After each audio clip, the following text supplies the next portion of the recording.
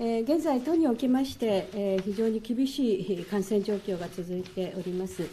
で特に今日ですけれども、重症者が54人に上りました、急増しております、予断を許さない状況と、このように考えております。でこれ以上の感染拡大を食い止めて、都民の皆さんの命を守り抜く、そのために、都として、え、感染対策、感染対策、短期集中、この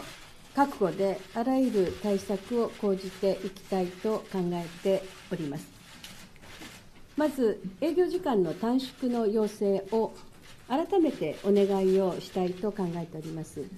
期間でありますが、11月28日の土曜日の0時から12月17日木曜日24時までの20日間といたします。で全面的にご協力いただいた場合は、一律で40万円の協力金を支給をする予定であります。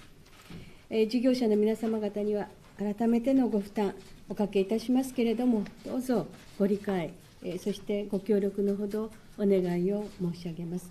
えー、最後に、GoTo イートイートの方ですね、このキャンペーンについてお伝えします。国と協議を行いまして、11月27日から12月17日までの間、食事券の新規発行を一時停止いたします。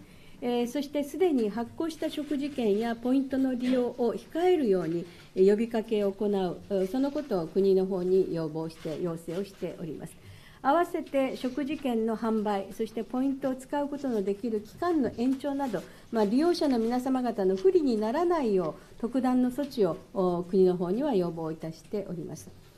感染対策、短期集中、ぜひこの間、集中することが重要であります。よろしくお願いいたします。